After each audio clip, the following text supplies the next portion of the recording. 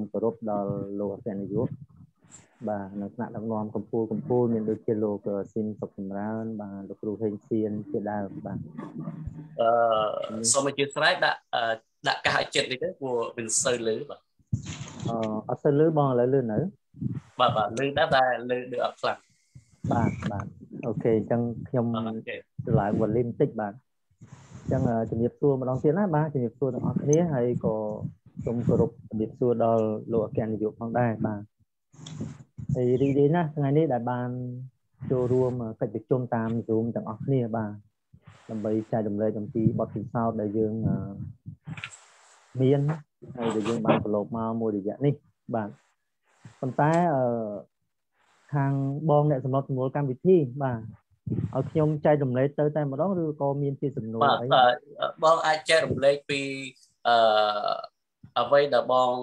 ចូលរួមជាមួយនឹង Volcan ឬក៏ពីមុនមកប្រវត្តិរូបសង្ខេបរបស់បងក៏ដូចជាការចូលរួមជាមួយ Volcan តើបងមានអារម្មណ៍ឬក៏មានលក្ខណៈពិសេសអ្វីខ្លះដែលចូលរួមជាមួយកម្មវិធីគឺក៏សហការជាមួយនឹងក្រុមហ៊ុន Volcan របស់យើងបាទសូមជម្រាបបាទបាទបាទចឹងខ្ញុំឈ្មោះកាំងសក្តាបាទសក្តាពីដើមឡើយនោះខ្ញុំស្រុកកំណើតខ្ញុំនៅខេត្តតាចេះបាទស្រុកឆ្លងខេត្តតាចេះ ចិត្តស្រុកកំណើតលោកអគ្គនាយកដែរបាទ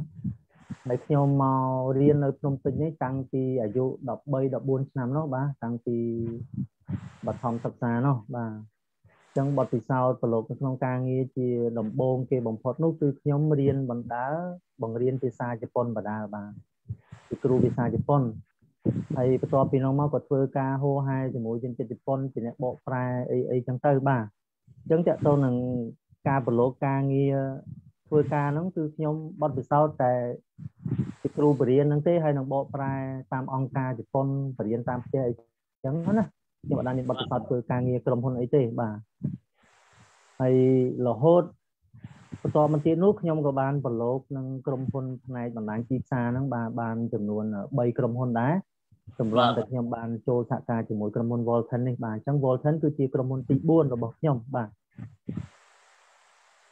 ហើយមូលហេតុ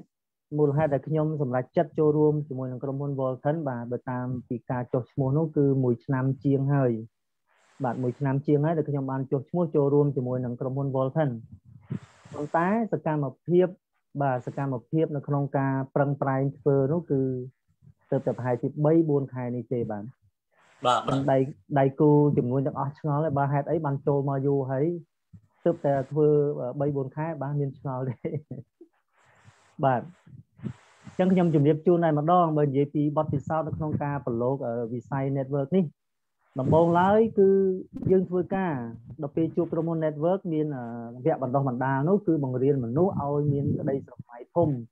បាទគិតធំហ៊ានធ្វើសកម្មភាពធំដើម្បីសម្រេចក្តីសុបិនរបស់ខ្លួនបាទព្រោះមានតែការងាររកស៊ីទេដែលយើងអាចរកចំណូលបានច្រើនអញ្ចឹងខ្ញុំក៏សម្រេចចិត្តចូលរួមជាមួយនឹងក្រុមហ៊ុនទីផ្សារបណ្ដាញ3មុនណាបាទអញ្ចឹងនៅពេលដែលយើងចូលរួមបាទយើងជួបបញ្ហាច្រើនណាស់នៅពេលដែលយើងធ្វើបាទវាមិនងាយស្រួលដូចយើងគិតទេអ្វីដែលគេបង្ហាញយើងមកបាទឃើញលុយច្រើនច្រើនណាស់បាទលុយរាប់ម៉ឺនរាប់សែនដុល្លារដែលអាចផ្លាស់ប្ដូរជីវភាពរបស់យើងឲ្យបានល្អប្រសើរខ្លាំងមែនទែនហើយមូលហេតុដែលខ្ញុំចូលទៅក្រុមហ៊ុននឹងភ្លាមដោយអត់គិតយូរគឺ យើងរកចំណូលពីការបង្រៀនអីហ្នឹងមួយខែមួយខែវាអត់មានសល់អីច្រើនទេអញ្ចឹងយើងឃើញឱកាសផ្លាស់ប្ដូរជីវិតរបស់យើងបាទយើងសម្រាប់ចិត្តចូលភ្លាមតែម្ដងបាទចឹងនៅពេលដែលយើងធ្វើហ្នឹងវាមិនបានជោគជ័យទេហើយក៏សឹងថាឆ្អែតឆ្អន់ជាមួយនឹងក្រុមហ៊ុន network ដែរបាទទោះបីតែខ្ញុំប្រឡូក3ក្រុមហ៊ុន Volton ជាក្រុមហ៊ុនទី4មែនប៉ុន្តែនៅក្នុងការដែលខ្ញុំប្រឡូកជាមួយក្រុមហ៊ុនមួយមួយគឺខ្ញុំចូលតាំងពី ចាប់ផ្ដើមរហូតដល់អាចថាក្រុមហ៊ុនបិទតែម្ដងបាទធ្វើរហូតដល់ដំណាក់កាលចុងក្រោយតែម្ដងមិនមែនចូលមករយៈហើយឈប់មុនអត់ទេបាទគឺទាំង3ក្រុមហ៊ុនហ្នឹងគឺបែបហ្នឹងចូលរហូតដល់ក្រុមហ៊ុនបិទលែងមាននៅស្រុកខ្មែរទើបឈប់តែម្ដងបាទអញ្ចឹងពីដើមឡើយនោះខ្ញុំចាប់ផ្ដើមតាំងពីជំនាន់ក្រុមហ៊ុន Spacnet បាទបងប្អូនណាដែលធ្លាប់ប្រឡូក network ហើយជាអាចស្គាល់អញ្ចឹងធ្វើក្រុមហ៊ុន Spacnet ចប់បន្ទាប់មកខ្ញុំក៏ធ្វើនៅក្រុមហ៊ុន SMN បាទ SMN ដែលគេមានលក់កំប៉ុងទឹកនេះបាទកំប៉ុងទឹកបំបែកមូលគីទឹកនេះបាទមកពីម៉ាឡេស៊ីដែរបាទខ្ញុំប្រឡូកជាមួយក្រុមហ៊ុន SMN នេះបើនិយាយទៅតាំងពី2000បាទ2013បាទប្រឡូកបានថាជា3 4ឆ្នាំដែរបាទអញ្ចឹងខ្ញុំប្រឡូកតាំងពីធ្វើជាអ្នកចែកចាយធម្មតា បាទរហូតដល់ខ្លាចទៅជាអ្នកដែលមានភាគហ៊ុនបាទមានភាគហ៊ុននៅក្នុងក្រុមហ៊ុនបាទប៉ុន្តែគឺយើងនៅតែធ្វើអត់បានជោគជ័យទៀតបាទនៅតែធ្វើអត់បានជោគជ័យរហូតដល់ខ្ញុំបាទបាននាំក្រុមហ៊ុនមួយទៀតមកពីខាងម៉ាឡេស៊ីដែរគឺក្រុមហ៊ុន Network បាទដែលមានផលិតផលឯកទេសខាងភ្នែកបាទផលិតផលនោះគឺប្រកែមែនតាក់ទងនឹងបញ្ហាភ្នែកគឺជួយបានច្រើនមែនទែនតែនៅតែអត់ជោគជ័យទៀតបាទ ចឹងអត់ជោគជ័យទៀតក៏សម្រេចចិត្តថាឈប់ហើយបាទឈប់ប្រឡូកហើយបាទដូចជាមានសម្លេងរំខានបាទចឹងគិតថាអធិស្ឋានលោកគ្រូលីលោកគ្រូលីបិទសម្លេងសិនទៅលោកគ្រូលីកងចេញពីលោកគ្រូលីបាទគិតថាឈប់ឈប់ប្រឡូកហើយផ្នែកវិស័យការបណ្ដាញនេះព្រោះយើងគិតឃើញថាស្រួលមែនប៉ុន្តែពេលធ្វើវាមិនស្រួលដូចអ្វីដែលយើងគិតទេបាទ ចឹងរហូតទៅដល់ដៃគូរបស់ខ្ញុំបាទដៃគូរបស់ខ្ញុំពីក្រុមហ៊ុន i network ហ្នឹងគាត់ក៏បានឃើញក្រុមហ៊ុនថ្មីបាទក្រុមហ៊ុនថ្មីគឺក្រុមហ៊ុន Volcan របស់យើងនេះចូលមកក្នុងទីផ្សារស្រុកខ្មែរបាទអញ្ចឹងគាត់ក៏បានណែនាំខ្ញុំហើយខ្ញុំក៏មិនទៅជាពេលហ្នឹងគឺមិនយកចិត្តទុកដាក់អីទាំងអស់តាក់ទងក្រុមហ៊ុន Volcan ហើយខ្ញុំចូលចិត្តញ៉ាំកាហ្វេអញ្ចឹងខ្ញុំគ្រាន់តែទិញកាហ្វេដើម្បីញ៉ាំតែប៉ុណ្ណោះជំហានដំបូងរបស់ខ្ញុំបាទ ទិញកាហ្វេញ៉ាំហើយក៏យើងចុះឈ្មោះចោលជាមួយក្រុមហ៊ុន Volcan អញ្ចឹងទៅបាទហើយកាហ្វេ Volcan នេះគឺឆ្ងាញ់អញ្ចឹងខ្ញុំញ៉ាំរាល់ថ្ងៃហើយភរិយារបស់ខ្ញុំម៉ាក់ក្មេងខ្ញុំប៉ាម៉ាក់ខ្ញុំបកើតក៏ញ៉ាំជាពិសេសភរិយាខ្ញុំហើយនិងម៉ាក់ក្មេងខ្ញុំគាត់ញ៉ាំកាហ្វេអត់បានទេបាទទោះបីកាហ្វេ brand មួយកែវ6000អីណាតាមហាង brand brand អីក៏ដោយក៏គាត់ញ៉ាំអត់បានដែរដាក់ទៅគឺញ័រញ័រខ្លួនតែម្ដងបាទតែនៅពេលដែលគាត់ញ៉ាំកាហ្វេ Volcan របស់យើងនេះ គឺញ៉ាំទៅបាទអត់អីបាទញ៉ាំទៅឆ្ងាញ់អត់អីគាត់ក៏បន្តញ៉ាំរហូតមកអញ្ចឹងខ្ញុំឃើញថាកាហ្វេឆ្ងាញ់មានគុណភាពអញ្ចឹងក៏បន្តញ៉ាំមកបាទបន្តញ៉ាំរហូតមកតាក់ទងសកម្មភាពនៅក្នុងក្នុងការធ្វើរយចំណូលពីក្រុមហ៊ុន Volcan វិញគឺមិនមានទេបាទមិនមានទេអញ្ចឹងទើបតែរយៈពេល3 4ខែនេះដែលខ្ញុំបានសម្រេចចិត្តបញ្ចេញសកម្មភាពខ្លាំងតាក់ទងនឹងការធ្វើចំនួនជាមួយក្រុមហ៊ុន Volcan បាទអញ្ចឹងចែករំលែកប៉ុណ្្នេះសិនបងបងមានអីជាសំណួរសួរមកខ្ញុំបន្ថែមទៀតបាទជាមួយនឹងការសហការជាមួយ Volcan តើបងមានចំណាប់អារម្មណ៍ឬក៏អឺទស្សនៈបែបណាចំពោះក្រុមហ៊ុនមួយនេះបាទបាទបាទអរគុណបងសំណួរចឹងដោយសារតែយើងមានបទពិសោធន៍ network ច្រើនហើយខ្ញុំក៏តាមដានក្រុមហ៊ុន Volcan នេះមួយឆ្នាំខ្លាយដែរហើយបាទ ចឹងនៅពេលដែលយើងចាប់ផ្ដើមធ្វើក្រុមហ៊ុន network ជាទូទៅគឺយើងតែងតែចេញជាសំណួរសួរថាតើតកែក្រុមហ៊ុនគាត់ល្អទេបាទក្រុមហ៊ុនល្អទេក្រុមហ៊ុនដែលយើងធ្វើហ្នឹងបាទហើយក្រុមហ៊ុនមានប្រព័ន្ធបង្កើតប្រាក់ចំណេញល្អអត់ហើយតាក់ទងទៅនឹងអគ្គនាយកក្រុមហ៊ុននៅស្រុកខ្មែរឬក៏ថ្នាក់ដឹកនាំបណ្ដាញរបស់យើងនឹងតើល្អអត់អញ្ចឹងកាលណាយើងរើសបានក្រុមហ៊ុនល្អថៅកែល្អប្រព័ន្ធប្រាក់ចំណេញល្អ បាទហើយផលិតផលល្អក្រុមការងារល្អទៀតនោះគឺយើងនឹងអាចជោគជ័យហើយបាទអាចនឹងជោគជ័យហើយអញ្ចឹងតាក់ទងនឹងក្រុមហ៊ុន Volcan វិញបាទថៅកែគឺពិតជាល្អហើយមិនត្រឹមតែល្អទេគឺគាត់ជាអ្នកមានស្រាប់បាទគឺគាត់ជាអ្នកមានស្រាប់ចឹងហើយបានជាប្រព័ន្ធចែកចាយប្រព័ន្ធប្រាក់ចំណេញរបស់ក្រុមហ៊ុន Volcan គឺផ្ដល់ឲ្យដៃគូច្រើនជាងក្រុមហ៊ុនបាទ ហើយចំណុចដែលខ្ញុំចាប់អារម្មណ៍ខ្លាំងទៀតនោះគឺតាក់ទងទៅនឹងការចុះឈ្មោះកញ្ចប់នៅក្នុងក្រុមហ៊ុន Volcan យើងនេះគឺយើងចុះកញ្ចប់តូចហើយយើងអាចអាប់ក្រេតទៅកញ្ចប់ធំតាមសម្រួលគឺយើងអាចទិញអាប់ក្រេតម្ដងមួយម្ដងមួយដោយអត់មានការបង្ខិតបង្ខំដូចជាក្រុមហ៊ុនដែលធ្លាប់ធ្វើពីមុនអីមានន័យថា3ខែយ៉ាងយូរ6ខែបើយើងមិន upgrade ទេគឺ account យើងនៅតូចរហូតប៉ុន្តែ Voltan អត់ទេហើយចំណុចពិសេសមួយទៀតទោះបីថាយើងចូលរួមកញ្ចប់តូច យើងណែនាំកញ្ចប់ធំក៏យើងបានផលចំណេញពេញបាទគឺវាយុត្តិធម៌វាអត់មានថាយើងកញ្ចប់តូចណែនាំកញ្ចប់ធំបានតិចសល់ទៅឲ្យអ្នកខាងលើអីគឺអត់មានទេបាទហើយចំណុចដែលចាប់អារម្មណ៍មួយទៀតនោះគឺតកតទៅនឹងការបើកប្រាក់ commission ប្រាក់ចំណេញដែលយើងរកបានណាបាទចឹងគឺអត់មានការកាត់សេវាមួយចំណុចទី2គឺយើងអាចដកលុយចំណេញបានជារៀងរាល់ថ្ងៃឲ្យតែយើងមានលុយចំណេញបាទហើយចាក់តងតែខ្ញុំធ្លាប់ដក គឺมันលើសពីមួយថ្ងៃទេបាទมันលើសពីមួយថ្ងៃទេគឺយើងនឹងបានលុយចូលនៅក្នុងកុំរបស់យើងបាទនេះគឺសិតតែជាចំណុចពិសេសពិសេសដែលខ្ញុំមើលឃើញនៅក្នុង Volton ហើយចំណុចផ្សេងទៀតនោះបាទគឺតកតងនឹងថ្នាក់ដឹកនាំបាទអគ្គនាយកប្រចាំនៅស្រុកខ្មែរបាទសិតតែជាមនុស្សដែលមានគុណធម៌ដែលមានក្តីស្រឡាញ់ជាមនុស្សដែលត្រឹមត្រូវបាទអញ្ចឹងគាត់គឺជា ថ្នាក់ដឹកនាំដ៏ល្អនៅក្នុងក្រុមហ៊ុនអញ្ចឹងនៅពេលដែលយើងបានចូលរួមជាមួយក្រុមហ៊ុនដែលមានថ្នាក់ដឹកនាំល្អបែបនេះគឺយើងនឹងមានឱកាសជោគជ័យបាទហើយព្រមទាំងថ្នាក់ដឹកនាំផ្សេងផ្សេងទៀតដែលគាត់មានសមត្ថភាពនៅក្នុងការបណ្ដុះបណ្ដាលដៃគូចំនួនរបស់យើងឲ្យមានសមត្ថភាពនៅក្នុងការធ្វើបាទអញ្ចឹងឃើញថាខាងក្រុមហ៊ុនគឺមានសពគ្រប់បែបយ៉ាងហើយសម្រាប់យើងដែលជាដៃគូចំនួនបាទមានថាក្រុមហ៊ុនរឹងមាំហើយបាទថ្នាក់ដឹកនាំក៏ល្អហើយមានចំណេះដឹងនៅក្នុងការបង្រៀនយើងហើយតែ ក៏សូមបញ្ជាក់ថាមិនមែនគ្រប់គ្នាចូលរួមជាមួយ Volton ហើយយើងអាចជោគជ័យទាំងអស់គ្នានោះទេអញ្ចឹងយើងសួរសំណួរថាហេតុអីហេតុអីយើងចូលរួមជាមួយ Volton ហើយយើងអត់ជោគជ័យបាទអញ្ចឹងព្រោះពាក្យជោគជ័យនេះគឺសំខាន់លើខ្លួនយើង បាទខ្លួនយើងដូចភាសាអង់គ្លេសគេទៅសេពាក្យថា success បាទ success ហ្នឹងវាមានអក្សរ U នៅក្នុងហ្នឹងអញ្ចឹងប្រសិនបើយើងដកអក្សរ U ចេញវាមិនអាចមានន័យថា success បានទេ នេះប្រៀបបានមានន័យថាចំពោះខ្លួនយើងម្នាក់ម្នាក់ដែលយើងចូលមកនៅក្នុងក្រុមហ៊ុន Volton គឺជាក្រុមហ៊ុនដែលត្រឹមត្រូវហើយយើងមិនបារម្ភពីក្រុមហ៊ុនទេប៉ុន្តែសួរថាតើសមត្ថភាពយើងនៅក្នុងការធ្វើជាមួយក្រុមហ៊ុន Volton យើងមានសមត្ថភាពគ្រប់គ្រាន់ហើយនៅបាទហើយយើងមានឆន្ទៈគ្រប់គ្រាន់នៅក្នុងការធ្វើហើយនឹងបាទអញ្ចឹងបើយើងចង់ជោគជ័យជាមួយ Volton គឺយើងពង្រឹងខ្លួនយើងឲ្យបានខ្លាំងបំផុតបាទយើងសួរថាធ្វើម៉េចទើបយើងមានចំណេះដែលអាចធ្វើជាមួយក្រុមហ៊ុន Volton បាន សួរសំណួរហ្នឹងបើសួរខ្លួនឯងឆ្លើយមិនបានទៅជួបថ្នាក់ដឹកនាំធំធំរបស់យើងបាទឬក៏ជួបខាងក្រុមហ៊ុនសួរគាត់ថាតើខ្ញុំត្រូវធ្វើអ្វីខ្លះដើម្បីឲ្យខ្ញុំមានចំណេះដឹងគ្រប់គ្រាន់នៅក្នុងការធ្វើចំនួនជាមួយ Volton បាទអញ្ចឹងចំណុចសំខាន់ក្រៅពីក្រុមហ៊ុនមានអ្វីល្អសម្រាប់យើងហើយគឺសួរតែខ្លួនយើងតើយើងធ្វើម៉េចទើបយើងអាចជោគជ័យជាមួយ Volton បានបាទព្រោះមិនមែនយើងចូលរួមជាមួយ Volton ជាក្រុមហ៊ុនល្អហើយយើងដឹងតែជោគជ័យហ្មងមិនមិនអាចទេបាទគឺ សំខាន់ខ្លួនយើង100%បន្ថែមទៀតបាទអរគុណបងបាទមានអីបន្ថែមជាចុងក្រោយតើបងមានអ្វីជាការលើកទឹកចិត្តក៏ដូចជាជំរុញ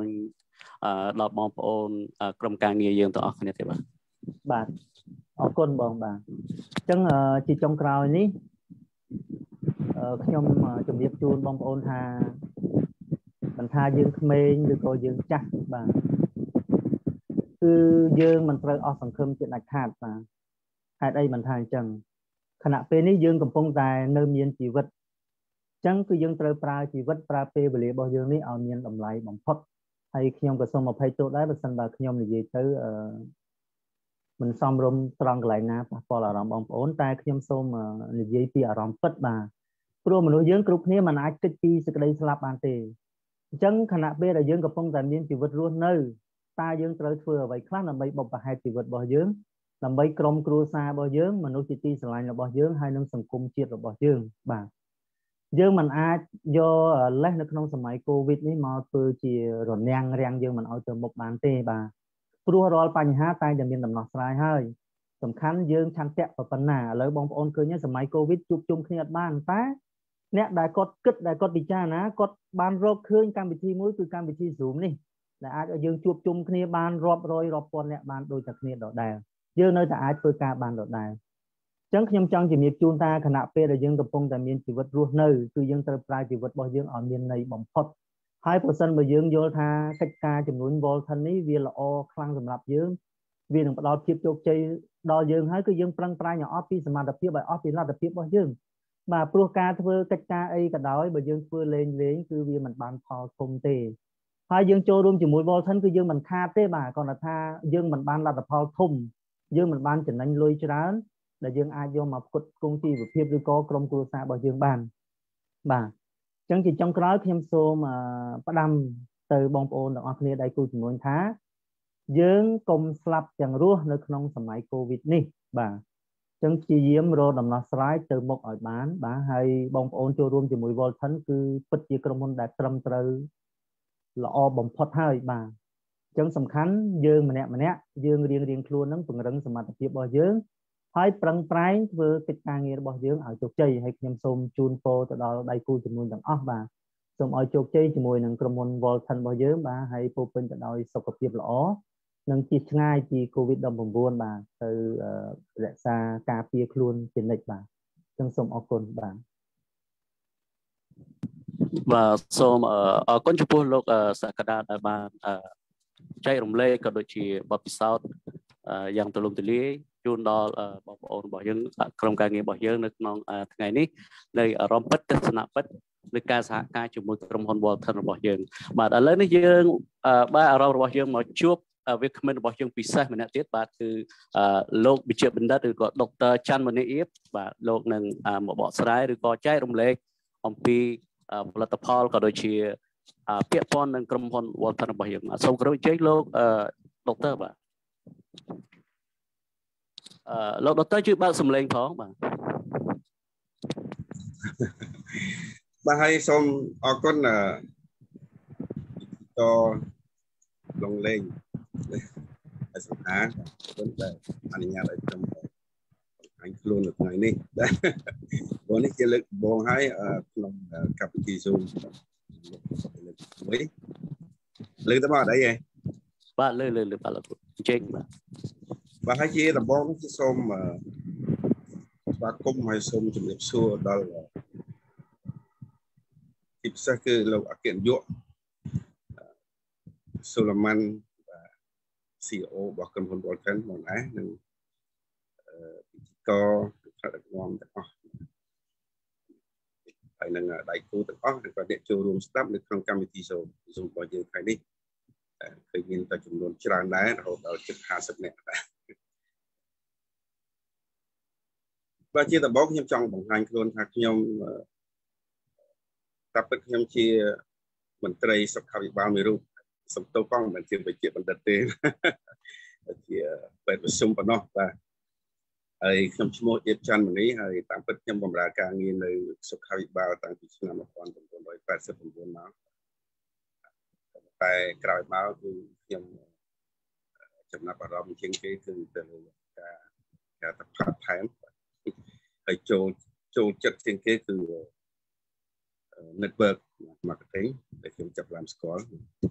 ងាយស្រួលជាងគេតែប៉ុន្តែ network marketing ខ្ញុំបានស្គាល់ក្រុមហ៊ុន ដាញទីផ្សារនេះពីច្រើនក្រុមហ៊ុនដែរហើយក្រុមហ៊ុនដែរហើយអឺខ្ញុំចាប់អារម្មណ៍ដូចគ្នាក៏ប៉ុន្តែកន្លងមកយើងធ្វើដូចថាมันបានជោគជ័យទេប៉ុន្តែគ្រាន់តែมันមានការខាត់បងអីទេបាទគាត់បានថាបានទទួលកម្រៃច្រើនគួរសមដែរมันបានតែធម្មតាធម្មតាអញ្ចឹងណា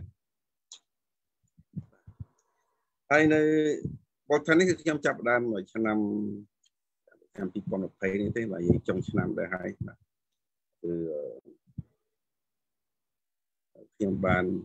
តាមពិតខ្ញុំមិនសូវមានជំនឿទេ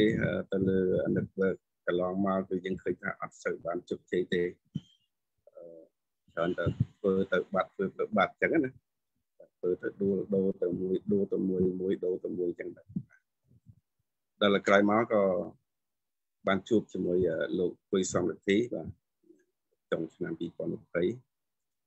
គាត់មកពោធិ៍សាត់ជើញមកពោធិ៍សាត់ក៏បានជួបខ្ញុំហើយក្នុងការបង្ហាញហើយនៅពេលនោះខ្ញុំក៏លែងសូវនឹងចាប់អារម្មណ៍ដែរហើយតែដោយសារមិត្តភ័ក្តិស្គាល់យូរណាស់ហើយតាំងអញ្ចឹងទៅក៏ចូលរួមស្ដាប់ការបង្ហាញហើយរហូតទៅក៏ខ្ញុំធ្វើការសម្រេចចិត្តថាទទួលយកទទួលយកការចុះឈ្មោះហើយនឹងទិញកាហ្វេយកទៅញ៉ាំ បាទមិនទាន់គិតថាវាយ៉ាងណាទេបាទយកទៅញ៉ាំសិនបាទចុះឈ្មោះសិនក៏មានការបង្ហាញជាច្រើនដល់ខ្ញុំទាក់ទងនឹងផលិតផលទាក់ទងនឹងក្រុមហ៊ុនទាក់ទងជាមួយនឹងផលិតផលទាក់ទងជាមួយនឹង system ហើយខ្ញុំពិចារណាទៅគឺថាល្អហើយបើនិយាយពីក្រុមហ៊ុនវិញគឺយើងឃើញថាក្រុមហ៊ុនមានអាជ្ញាប័ណ្ណត្រឹមត្រូវ ហើយមានប្រភពចេញពីប្រទេសម៉ាឡេស៊ីយើងមើលទៅដូចជានងមានច្បាប់ទម្លាប់ត្រឹមត្រូវហើយផលិតផលរបស់យើងគឺកាហ្វេបាទកាហ្វេហ្នឹងគឺក៏ចាប់អារម្មណ៍ទៀតបាទអញ្ចឹងក៏គិតអូបាទយើងអាចបបន្ទាប់មកយើងសិក្សាពីផលិតផលយើងឃើញថាផលិតផលមាន VO4 បាទ VO4 គឺគាត់បាន ប្រាប់ថា VO4 វាមាន4 R ដល់ទៅ4ហ្នឹងវាទាក់ទងជាមួយនឹងការអឺអឺគេហៅថាវិទូហើយវាល្អហើយញ៉ាំទៅគឺបានដកយកនៅសារជាតិពុលដើមចេញពីក្នុងខ្លួនអឺបាទនេះ air ទី1 air ទី2គេថាវាជួយកាត់បន្ថយជាតិស្ករនៅក្នុងឈាម អឺដូចជាតិបន្ថយនៃជាតិខ្លាញ់ផ្សេងផ្សេងបាទហើយក៏វាជួយផ្ដល់នៅធម៌ពលដែលទៅ recharge ជាផ្ដល់ជាពិសេសគឺសុខភាពផ្លូវភេទដើម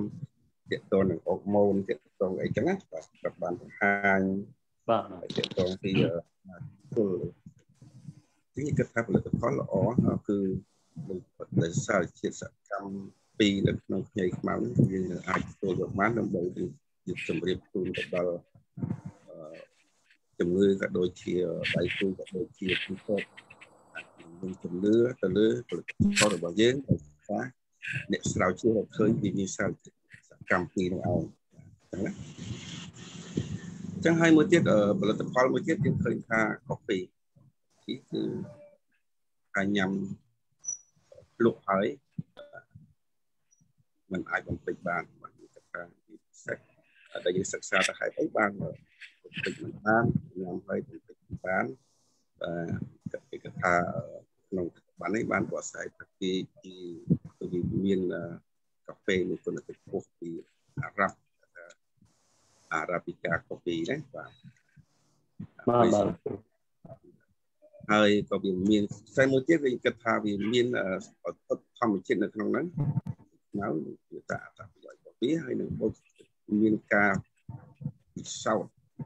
ត្រឹមត្រូវពីមានការទទួលស្គាល់ពីក្រសួងបាលនៃទីទីម៉ាឡេស៊ីទីឥណ្ឌូនេស៊ីថាមានជាពិសេសហើយក៏មានឱសថបុរាណនៅហើយក្នុងការរសជាតិมันមានថែមនៅសិប្បនិមិត្តមួយ មិនពិសេសគឺខ្ញីខ្មៅគឺប្រជាពលរដ្ឋយើងស្គាល់ពីយូរយារណាស់មកហើយខ្ញីធម្មតាអាចយកទៅដាំទឹកយកមកញ៉ាំសម្រាប់អ្នកពងខ្ចីឬក៏សម្រាប់មានជំងឺទាក់ទងនឹងសួតទៅជាដើម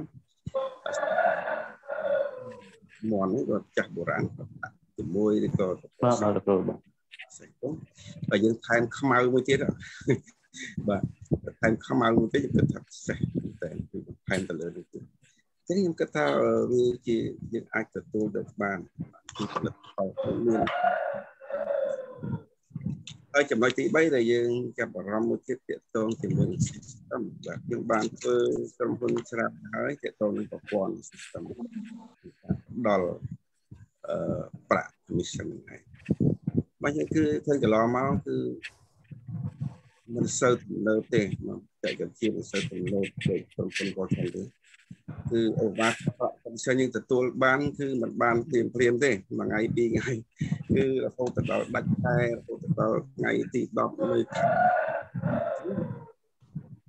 ក្នុងការ system ក៏យើងពិបាកការពិនិត្យមើលតើលុយចំប្រាក់ចំណូលរបស់យើងយ៉ាងម៉េចយ៉ាងម៉េចគឺមិនតែដល់ពេលសិក្សាពី ក្រុមហ៊ុន Volcan នោះគឺឃើញថាបច្ចេកវិទ្យាទំនើបគឺយើងអាច check មើលសពបានទាំងអស់ព័ត៌មានក្នុងនេះបាទបាទហើយគឺពិសេសគឺវិការហ្នឹងឯងបាទសំខាន់ដល់ពេលដាក់ភ្លាមយើងបានលុយភ្លាមបាទឃើញទុំលេខចូលភ្លាមបន្ទាប់ពីមួយថ្ងៃនេះឆ្លងកាត់មួយថ្ងៃហើយស្អែកយើងអាចដកលុយនឹងបានហើយវាទំនើបទៅទៀតបាញ់ ពី account មួយទៅ account មួយពី account មួយទៅ account មួយគឺយើងចាយលុយនៅលើទីយើងទៅជួបគ្នាយើងអត់មានលុយទេហើយហាក់មាន50 50ដុល្លារសិនមកបាញ់ cash វិញ50ដូចគ្នានេះគឺជាលក្ខណៈពិសេសរបស់ក្រុមហ៊ុនចាប់អារម្មណ៍ហើយហ្នឹងហើយចង់សួរទៅបាទអញ្ចឹងខ្ញុំមានសំណួរមួយចង់សួរលោកគ្រូ មួយចំណុចដែលតកតនឹងផលិតផលបាទតើលោកគ្រូអាចបកស្រាយបន្ថែមទេអំពីខ្ញីខ្មៅឬក៏ផលិតផលរបស់យើងតើវាមានប្រសិទ្ធភាពបែបណាចំពោះអ្នកជំងឺក៏ដូចជាមហាជន ដែលគាត់កំពុងតែប្រើប្រាស់បាទអឺកន្លងមកខ្ញុំ អ្នកជំងឺដែលគាត់មកទិញមកជឿផលិតផលខ្ញីខ្មៅពីយើងទៅយើងឃើញថាការប្រើប្រាស់របស់គាត់គឺគាត់មកទិញបន្តបាទគាត់ទិញមួយឈុតហើយគាត់ថាសួរខ្លួនគាត់មកទិញបន្តទៀតហើយមានមុខជំងឺជានៅខាងខាងប្រវាញខាងយោធាអឺគាត់ទឹកនំផ្អែមជាតាំងពីឆ្នាំ2016មករហូតទៅដល់ដំបៅកាត់ជើងអស់មួយជាហៀងដែរ ពេលចុងក្រោយថ្មីថ្មីនេះគាត់ហើមជើងគាត់មិនទៅហើមហើយគាត់ទៅទៅពិគ្រោះជាមួយគ្រូពេទ្យពិនិត្យអីទៅនោមប្រៃអញ្ចឹងណាគាត់មានបញ្ហាតម្រង់នោមនោមហើមពោជើងហ្មងគាត់នៅអសុខគាត់ថាអីអញ្ចឹងទៅគាត់លឺគាត់ស្គាល់ខ្ញុំពីដើមដែរគាត់ស្គាល់ទីសូខ្ញុំថាលោកខ្ញីខ្មៅនេះគាត់មក មកទៅគាត់សាកលុយសាកយកទៅគាត់ញ៉ាំបាន3ថ្ងៃទេ3ថ្ងៃទេគាត់ញ៉ាំ3ថ្ងៃបីថ្ងៃទាំងកាហ្វេទាំងវីអកញ៉ាំ3ថ្ងៃគាត់ទេមកខ្ញុំភ្លាមទេមកខ្ញុំភ្លាមគាត់ថាអេបងឆ្នាំហ្នឹងក៏បកកែមែនតើបាទ3ថ្ងៃតែជើងគាត់ស្រកអស់រហូតឥឡូវបាទខ្ញុំមានសម្លេងគាត់ទៀតគាត់ខ្ញុំទេទៅគាត់ទេមកខ្ញុំទៅទី1ទេតែស្រួល ប៉ុន្តែរយៈកាលអស់មួយឈុតឥឡូវព្រឹកមិញនេះខ្ញុំសាកសួរទៀតដើម្បីដើម្បីបានព័ត៌មានមកបង្ហាញបងប្អូនយើងណាខលទៅគាត់ទៀតបាទបាទស្រួលឥឡូវមិនខាយមិនស្ទុកមិនអីទេបាទគាត់ពិសាតែមួយឈុតនឹងឯងហើយអត់ប៉ុនកាហ្វេអស់ហើយនៅសល់ហើយនៅតែ EV អពទេបាទប៉ុន្តែគាត់ជើងគាត់ស្រួលគាត់ដើរបាននេះបានហើយចឹងគាត់នឹងបើប្រខែគាត់ទុំពេលញ៉ាំតែញ៉ាំទៅគាត់ បាទអឺជាចុងក្រោយអឺតើលោកគ្រូមានអីជាការជំរុញទឹកចិត្តដល់ជនរួមជាតិរបស់យើងក៏ដូចជាប្រជាជននៅក្នុងប្រទេសកម្ពុជារបស់យើងឲ្យគាត់ងាកមកប្រើជាមួយគ្នាខ្មែរក៏ដូចជាកាហ្វេគ្នាខ្មែររបស់យើងដែរទេបាទបាទសូមអរគុណអឺខ្ញុំគិតថាសូមបងប្អូនយើងមួយក៏ពុកម៉ែបងប្អូនទាំងអស់ហ្នឹងគឺ បើអ្នកដែលចូលចិត្តញ៉ាំកាហ្វេគឺជួយបង្វែរអឺមកញ៉ាំកាហ្វេខ្ញីខ្មៅដើម្បីសុខភាពបងប្អូនពីព្រោះហេតុអីកាហ្វេយើងមានឱសថធម្មជាតិពិសេសខ្ញីខ្មៅបើវាមានសារជាតិ bioflavonoid មាន toxiflavon ទៅជួយនៅបន្ទប់ស្កាត់មហារីកកោសិកម្មមហារីកផ្សេងអញ្ចឹងគឺយើងមិនគួររារែកទេមិនគួរថាអឺបើមានបងប្អូនថាមិនមិនឈឺក៏យើងគួរតែញ៉ាំទៅដើម្បីការពារទឹកស្កាត់ ហើយមើលមើលតម្លៃកាហ្វេរបស់យើងគឺមិនថ្លៃទេគឺមួយអត់20ដុល្លារគឺមួយកញ្ចប់តែ1ដុល្លារតែ4000ទេនេះគឺជាបងប្អូនអាចទទួលបានហើយបើកាហ្វេនៅក្រៅសំបីតែកាហ្វេកិនក៏មានតម្លៃ5000ទៅដល់ទី3ដុល្លារហើយប៉ុន្តែកាហ្វេរបស់យើងគឺមានប្រភពច្បាស់លាស់ហើយក៏មានឱសថធម្មជាតិសម្រាប់ជួយសុខភាពរបស់យើង អឺពិសេសទៅទៀតកាហ្វេរបស់យើងគឺมันមានស្ករសគឺមាន nano sweetener technology ពិសេសដែលបងប្អូនយើងត្រូវការជាពិសេសអ្នកមានជំងឺលើស្ករក្នុងឈាមបណ្ដាបណ្ដានោះគឺពិបាកក្នុងការជ្រើសរើសកាហ្វេអ្នកខ្លះទ្រាំញ៉ាំកាហ្វេអត់ដាក់ស្ករទេបាទហើយតែញ៉ាំអ្នកខ្លះញ៉ាំកាហ្វេដាក់ស្ករតែគាត់មិនថ្ងៃណាមួយគាត់មិនទៅលើកជាតិស្ករនឹងធ្វើឲ្យទោះថ្នាក់ដល់ជីវិតអញ្ចឹងវាជាឱកាសយើងគឺមកញ៉ាំកាហ្វេកាហ្វេថ្ងៃខ្មៅគឺมันមានស្ករសទេគាត់ញ៉ាំសម្រាប់ជួយសម្រាប់អ្នកមានជំងឺទឹកនោមផ្អែមហើយគ្រាន់តែបន្ថែមថាគ្រាន់តែយើងផ្លាស់ប្ដូរថាពេលក្រៅមកញ៉ាំកាហ្វេពីកាហ្វេថ្ងៃខ្មៅហើយបើសិនជាយើងញ៉ាំជាប្រចាំគឺយើងអាចទិញជាឈុតឈុតឈុតដោយសហការមួយក្រុមហ៊ុនគឺតម្លៃថោកទៅចាប់ ពីអាជីពពី3000ប៉ុណ្្នឹងឯងអញ្ចឹងយើងអាចទទួលយកបានហើយអាចញ៉ាំជាប្រចាំដើម្បីរក្សាសុខភាពរបស់យើងបានឬក៏យើងអាចធ្វើអាជីវកម្មជាមួយក្រុមហ៊ុនរបស់យើងបានតើពីបងប្អូនញ៉ាំទៅស្រួលខ្លួនបងប្អូនទៅខ្លាចស្អីនឹងនិយាយប្រាប់មិត្តភ័ក្តិបន្តដើម្បីមកញ៉ាំកាហ្វេរបស់យើងដើម្បីឲ្យមានសុខភាពពីព្រោះតែកន្លងមកទៅយើងជួនកាលយើងផ្សព្វផ្សាយឲ្យគេដោយមិនដឹងខ្លួនទេមិន ដឹងខ្លួនទេឧបមាថាគេសួរថាឥឡូវនៅខាងពងសัตว์ហ្នឹងញ៉ាំកាហ្វេកន្លែងណាឆ្ងាញ់យើងតែងតែឃើញញ៉ាំកន្លែងនេះតែពិតយើងកំពុងតែផ្សព្វផ្សាយឲ្យគេគុយទាវនៅកន្លែងនេះឆ្ងាញ់គេទៅញ៉ាំតែពិតយើងទៅគេគិតលុយធម្មតាទេក៏ប៉ុន្តែនេះគឺជាឱកាសរបស់បងប្អូនឱកាសបងប្អូនសម្រាប់រកប្រាក់ចំណូលបន្ថែមគ្រាន់តែការផ្សព្វផ្សាយដូចតែយើងប្រាប់គេធម្មតានឹងឯងតែវីកាហ្វេជួយបើបងប្អូនទិញតម្លៃតែ20ដុល្លារទេបើបងប្អូនចង់បានតម្លៃថោកទិញសុទ្ធ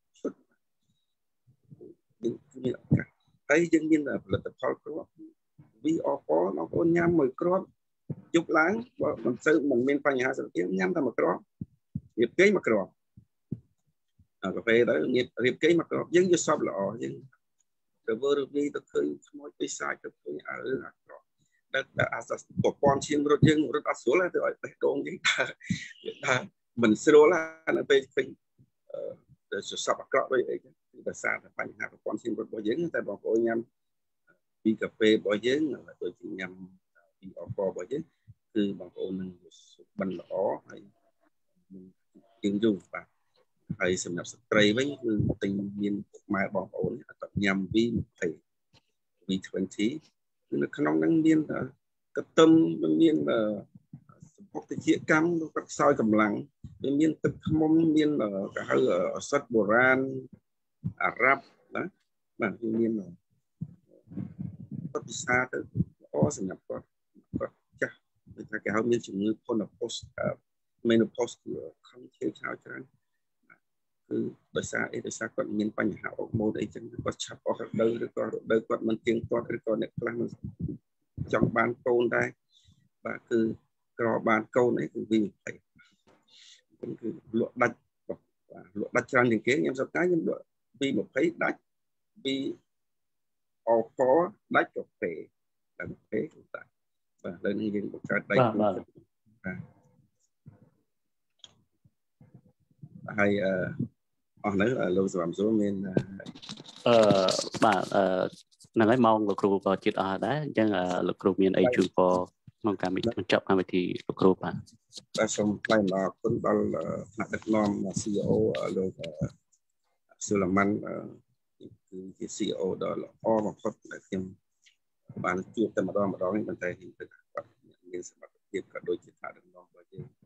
គឺជាលោកស៊ីមសុខចម្រើនលោកពុយសំរទីលោកអឺហេងសៀនលោកអីចឹងគាត់ថាសិតតែជាខ្ញុំដែលល្អល្អដែលធ្វើឲ្យឌីនិតវីអលឆាន់ជាងសកម្មសកម្ម ហើយខ្ញុំបានដំណើរការបានសុខថ្ងៃនេះក៏ដោយសារតែលោកពុយសំរទីក៏ដូចជានឹងបានខំប្រឹងប្រែងជួយក៏ដូចជាលោកស៊ីមសុខចម្រើនក៏ខំទៅសហការគ្នាខ្លះដឹកនាំតែពិតខ្ញុំមិនសូវបានខំប្រឹងប្រហែលដែរសូមសារភាពព្រោះតែយើងកំពុងការងារនៅសុខាភិបាលផងអញ្ចឹងយើងគាត់តែជាការធ្វើផាត់ផែនមួយពេលទំនេរគាត់ថាយើង ប្រើតាម Facebook ប្រើតាមយើង live យើងអីចឹងទៅតាម page តាមអីចឹងទៅបាទអញ្ចឹងពិសេសដែលយើងមិនបានដើមទេក៏ប៉ុន្តែយើងបាននឹងហើយក៏សូមថ្លែងអរគុណដល់ដៃគូរបស់ខ្ញុំអឺក៏ដូចជាដៃគូផ្សេងអាចជាដៃគូជាមួយក្រុមហ៊ុនបរិខាណាពិសេសដៃគូរបស់ខ្ញុំនៅខាងខេត្តបាត់ដំបងឯមានដែរបាទគឺលោកដែលជាវត្តមានដែរលោកប៊ុនលីកូក៏ពិសេសដែរបាទអញ្ចឹងលោក សក្តាស្គាល់ទេលោកឡុងលីស្គាល់ទេលោកប៊ុនលីកូទេបាទអឺអត់ស្គាល់បាទហើយនៅខាងលោកកឹមចិត្រាក៏ខាងរដ្ឋបគិរីខាងមណ្ឌលគិរីខ្ញុំថាអរគុណច្រើនហើយគឺបានអាការសាទរបាទបាទបាទលោកគ្រូអរគុណហើយសូមជម្រាបហើយអត្តដឹកនាំលោកអស់នេះគឺមានសុខល្អហើយធ្វើបានជោគជ័យ អាការអាជីវកម្មក្រុមហ៊ុន Golden International